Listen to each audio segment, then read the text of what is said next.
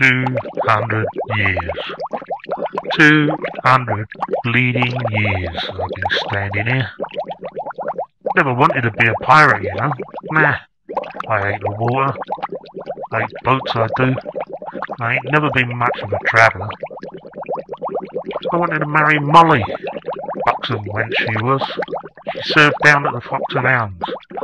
We were going to open a shop in the village. Church on Sundays, have a few nippers running round. Easy life it would have been. But it was for Dad.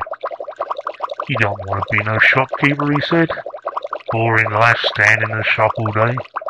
You want to be a pirate. Travel a bit, see the world and make your fortune. Exciting life a pirate has, he says. Well, Dad, I did me travelling all right. Got blowed out of water by the Royal Navy on the first trip I did. Didn't see 'em coming till it was too late.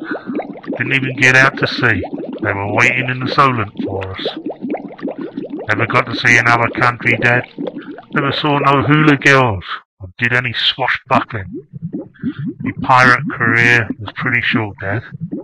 About one bleeding day to be exact. Running a shop in the village would have been a good life, Dad. Molly was a good girl.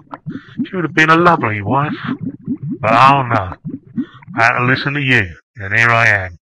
Two hundred bleeding years, counting fish and watching the crabs pick me bones clean. Thanks, Dad. Oh, and my fortune. It's in that chest over there.